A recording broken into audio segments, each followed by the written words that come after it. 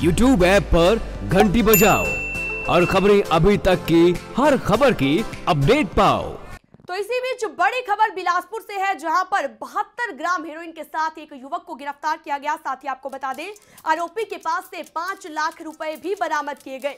Naina Devi police ने आरोपी को गिरफ़्तार किया है। आपको बता दें, बिलासपुर का ये मामला है, जहाँ पर पाँच लाख रुपए भी आरोपी के पास से बरामद किए गए हैं। साथ ही बहत्तर किलो हेरोइन के साथ एक युवक को गिरफ़्तार किया है। नैना देवी पुलिस ने आरोपी को गिरफ़्तार किया है।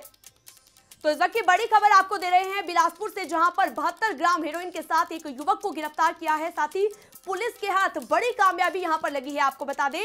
नैना देवी पुलिस ने इस युवक को गिरफ़्तार किया है और पाँच लाख रुपए भी युवक के पास से बरामद किए गए हैं। तो नैना देवी पुलिस के हाथ बड़ी सफलता यहाँ पर लगी है। आपको बता दें, बिलासपुर से इस वक्त की बड़ी खबर है। बहत्तर ग्राम हेरोइन के साथ एक युवक को गिरफ़्तार किया गया है और नैना देवी पुलिस ने इस युवक को गिरफ़्तार किया है। तो पुलिस ने आगामी कार्रवाई भी शुरू कर दी है। साथ ही आपको बता दें, पाँच लाख रुपए भी युवक के पास से बरामद किए गए।